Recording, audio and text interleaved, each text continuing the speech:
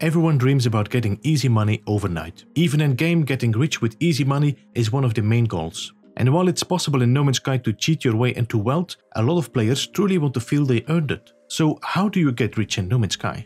Let me show you today how to build an activated indium farm that will generate a steady passive income.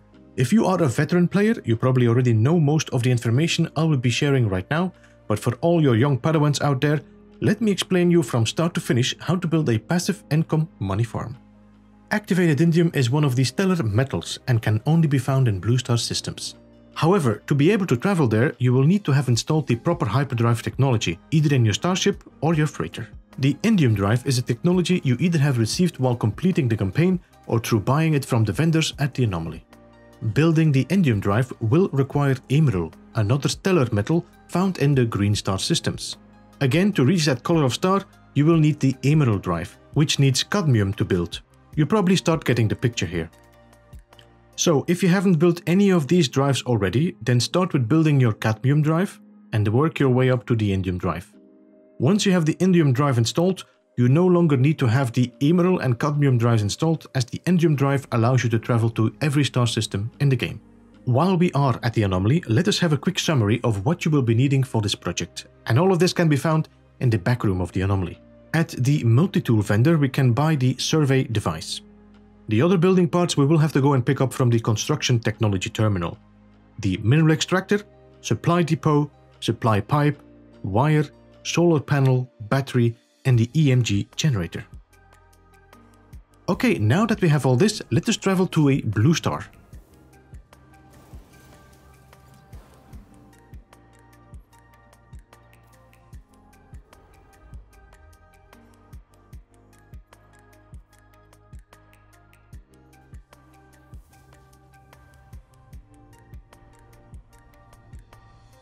Once arrived at the system, you will have to look for a planet that has activated indium. These planets are constantly plagued with heavy storms, so I would advise to find a lush planet so that you have some respite between the storms. Hazardous planets work just as fine, but even out of storms it will still drain your hazard protection and be more stressful on your life support. Once you land on your planet of choice, you will have to start looking for a mineral hotspot. To find the hotspot we need to have the survey device installed, which is an upgrade for the Analysis visor. When the survey device has been installed, you should have 5 scanning modes in total showing on your visor. Analysis mode, Target Sweep, Power Survey, Mineral Survey and Gas Survey. Let us select the Mineral Survey mode. If you are close enough to a mineral hotspot, the visor will start pinging in the direction of it. But if there are no hotspots in the nearby vicinity, you will have no visual pings. Still, you will have the auditory pings to locate the nearby hotspot.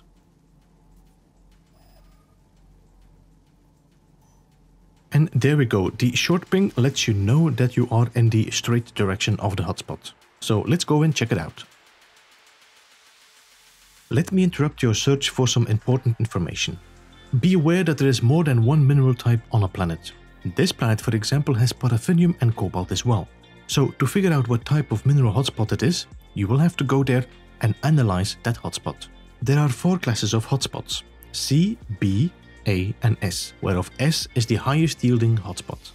I will go deeper into this once we have located our hotspot, but I would advise you to go look for S-class hotspots. It might be a tedious job, but it will make your farm much more efficient. To analyze a hotspot, we have to be in range of minimum 5U. This is a paraffinium hotspot, however, so that's not what we're looking for. We want activated indium, so let's scan for another hotspot.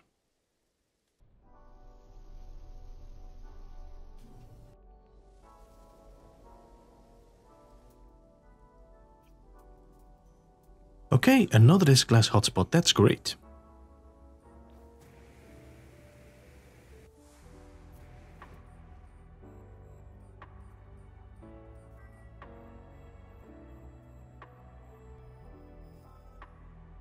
Perfect, we found ourselves an S-Class activated indium hotspot.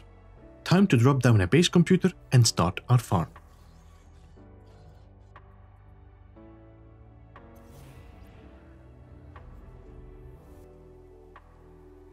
Open up your visor again and keep an eye on the density underfoot. When moving your avatar around, you will notice the percentage rising or dropping.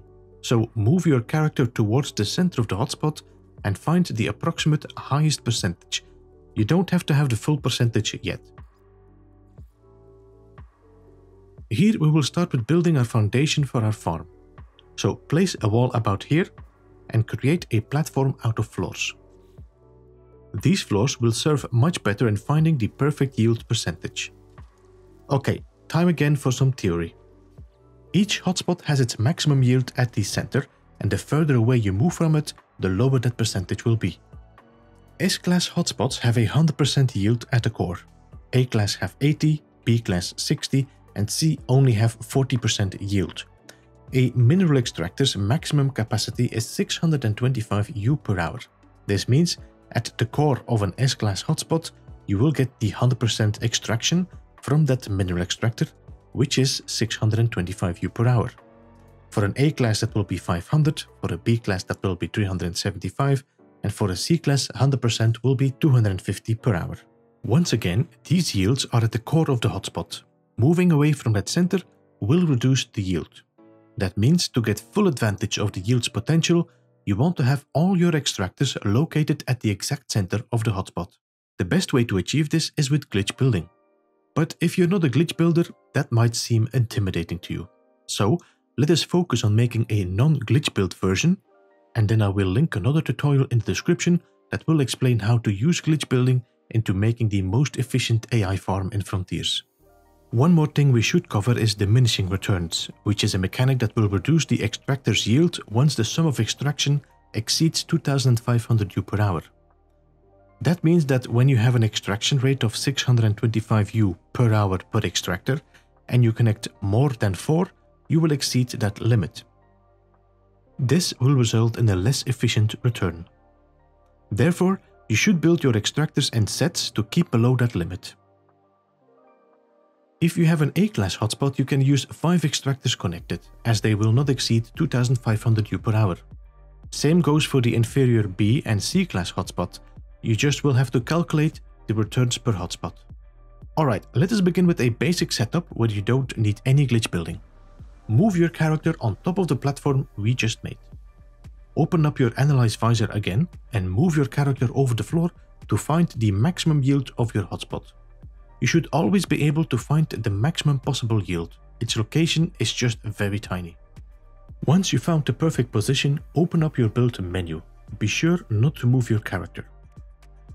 Select your supply pipe, go into build camera and also activate free placement.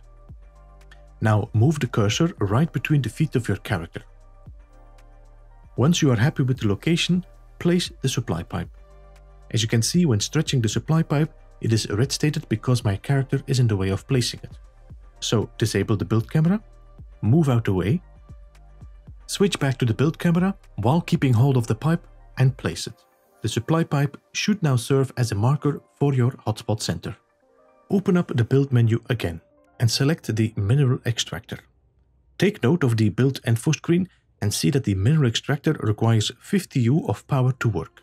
Let us focus first on the mineral extractor's placement and I will get back to the power part for this farm. So place the mineral extractor exactly at the center point of the supply pipe. As this is an S-class hotspot, we will be working with sets of 4, so we want to place 3 more mineral extractors. The problem is that if we place the mineral extractors next to the first one, they will extract slightly less than the maximum yield as they are not placed on the core. If you're not aware of this before, all the hotspots have a cylindrical shape, not spherical. This means that the hotspot's yield will be the same at 0 or 1500 U above the planet's surface. So if we place the extractors on top of each other, we gain maximum yield. You can simply stack the extractors on top of each other, but using a small foundation of walls and floors will make it not only look cleaner, but more efficient to place. The height of an extractor is two walls, so you can prepare a small setup to make it easier and cleaner to line them up. In the end, you want 4 extractors placed on top of each other. As said, we do need power for this to work. If you're lucky, there might be a power hotspot nearby, which will allow you to use the electromagnetic generators for power. If you're unlucky and do not have a hotspot nearby, you can provide the farm with using power from solar panels and batteries. I will be showing you how the EMGs work after this, but first we go into the solar panels. Each solar panel provides you with a 50 U of power during the day. At night these become inactive. That means that you will have to store power during the day so the farm can work during the night as well. That is where the batteries come into the picture. Remember that the extractor requires 50 U of power to work, so each extractor will need one solar panel each. That will cover the day cycle. During the night, the batteries should take over, so we need one battery per extractor to cover that. As the other four solar panels already are used 100% for the extractors, we need to add four more solar panels so that these can charge up the batteries in the meantime. So in total, for one set of extractors, we need 8 solar panels and 4 batteries. Once we power up the extractors, they will kick in immediately. If we have a look at the information screen, you can see that we are now extracting at a rate of 625 U per hour. But you might also notice that the extractor has an internal storage of only 250 U, which means we are extracting more per hour than the internal storage can hold. So we need to build extra storage. You might also notice that we don't see any extraction rates of the other three extractors. That is because they are not connected in sets yet. Let us quickly go into the build menu and select the supply pipe.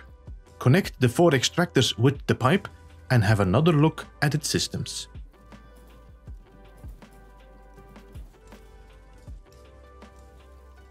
Now you can see we have an extraction rate of 2487 U per hour and we have an overall storage of 1000 U. So first of all, you can see I do not have the 2500, that means I have shifted somewhere a little bit from the center. But let us not worry about that. Let us build some storage hoppers to compensate for the shortage of storage. Select the storage hopper and place two of them on the side here and connect them with supply pipes to the extractor. Each hopper can hold up to 1000 units, so we should have enough storage to suit the extraction. Once an hour is passed, we should have a 2487 AI stored. This is the basis of an activated indium farm. Even without glitch building, it is possible to expand on this farm. It will just take more space and it might lose some efficiency. You can simply build another set of extractors on top of the existing ones and add two more storage hoppers and you will double the yield of this farm. You can also add more storage hoppers per set, and that will result in the farm storing more activated indium over time, which means you can come back and harvest it at a later stage. The more storage hoppers, the more will be stored to be picked up over time. A few things you should keep in mind while building this. The supply pipe has a massive radius now. It covers a radius the same size as the height of a wall. That means that if a second set of extractors or storage hoppers is placed too close to the supply pipe of the first set, both sets will be connected and you will be affected by the diminishing returns. To be very specific, it is the base of the extractor and the hoppers that are affected by that.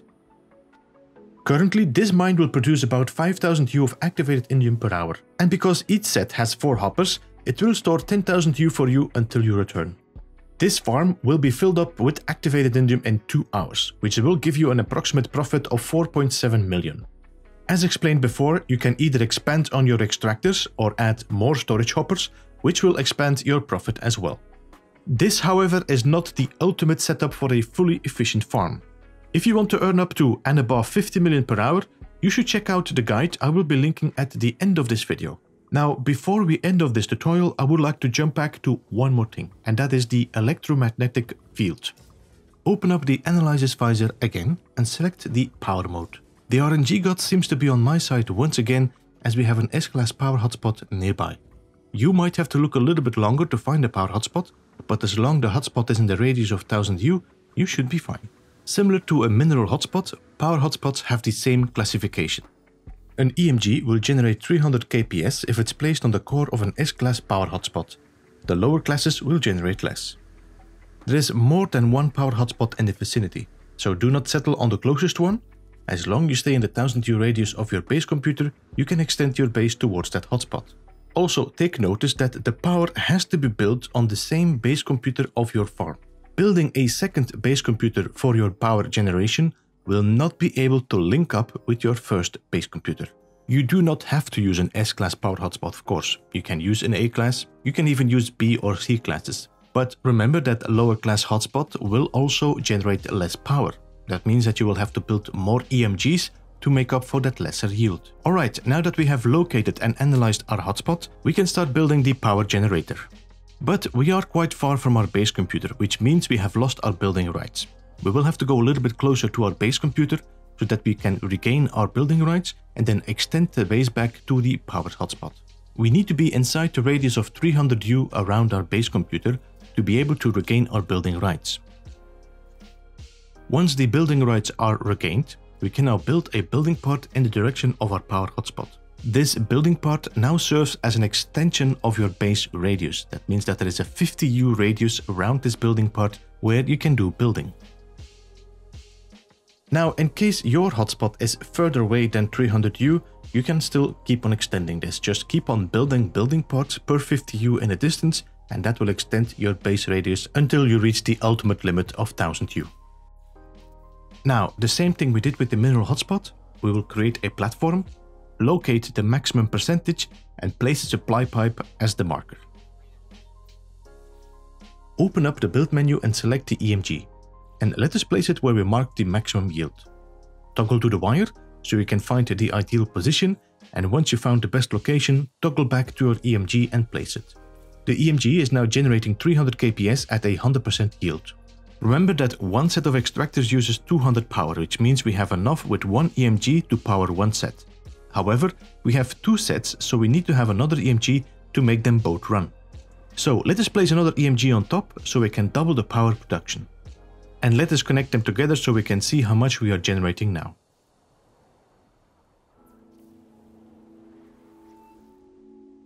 600 kps at 100%, that's nice.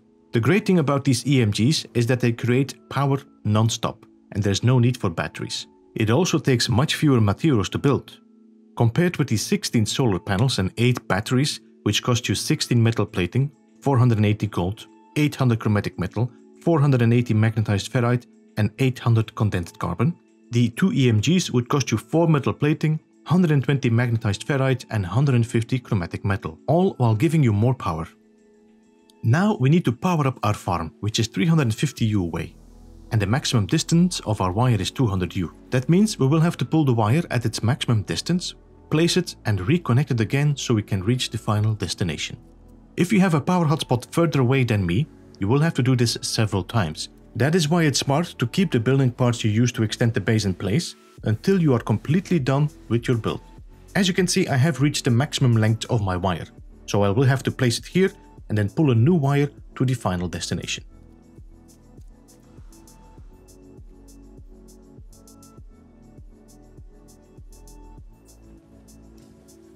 To be able to read the power consumption, you can now connect a battery to the network, which will serve as a monitoring system. I am using 400 of the 600 now, which, in theory, means I have just enough power to add another section to this farm. Okay, I think we covered most of what we need to know about how to build an AI farm in Frontiers. This has been mainly basics and theory, and I hope to make it more understandable for you. If you would like to try your luck with some glitch building, then you can build a super efficient farm that will produce activated indium worth of millions. But that is a separate guide, which I will be linking in the description and at the end of this tutorial. I hope this was informative for you and learned all about how to build an activated indium farm yourself. Thank you so much for watching. This was Beeblebum. Goodbye for now.